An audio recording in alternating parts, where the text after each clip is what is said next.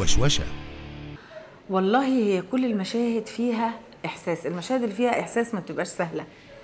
يعني سهل إنك تبيني إنك بتعيطي تبيني إنك بتعيطي لكن إن انت تبقي من جواكي بتعيطي أو أو حزينة أو في حزن شديد وحاجة قوية.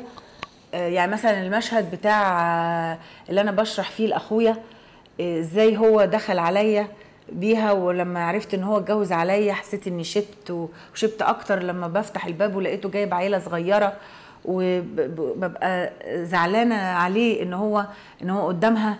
بيبقى عامل زي يعني ما بيبقاش له كلمة يعني ما بيبقاش له كيان محدد وبتاع وده لأنه بيحبها وطبعا بغير منها لأنه بيحبها. طبعا المشهد ده عايز أكتر من من نقلة. يعني انت بتنقلي في الكلام بس مع مع معايشه نفس الإحساس. فده آه، وبعدين ده أنا كنت واخداه قبل الشغل مثلا بربع ساعة المشهد ده وكان فيه كلام كتير وإحساس كبير. فالحمد لله إن أنا يعني أعتقد والله أعلم إن الناس قالت إن هو حلو يعني. هادي الجيار ده حبيبي. ده إحنا اشتغلنا مع بعض كتير جدا. فبالنسبة لنا مش جديد إن أنا وهو نشتغل مع بعض. فأنا فاهماه وهو فاهمني. ومي عمر مي عمر فنانة فنانة حلوة. ومع زمايلها كمان شخصية لطيفة جدا.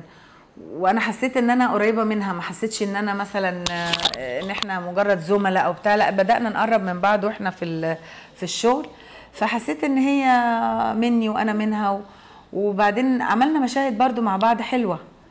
فطبعا انت كل ما بيبقوا الناس اللي بتشتغلي معاهم صحابك وقريبين منك حتى لو بتعملي قدام الشاشة إنك بتكرهيهم أو إنك بتتخانقي معاهم بتطلعوا مشهد حلو جدا. لأن أنتوا خلاص بقيتوا صحاب بقيتوا فاهمين بعض بقيتوا قريبين فبتبتدي المسألة تبقى ال- ال- الحواجز اللي بتبقى بين اتنين لسه ما يعرفوش بعض كزملاء أو كده بتدوب وتبتدي بقى انت بتشتغلي ب, ب يعني بتشتغلي الشخصية وهي بتشتغل الشخصية.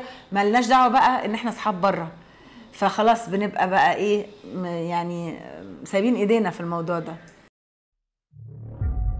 ما تنساش تعمل like للفيديو و subscribe علشان يوصلك كل فيديوهاتنا الجديدة من وشوشة.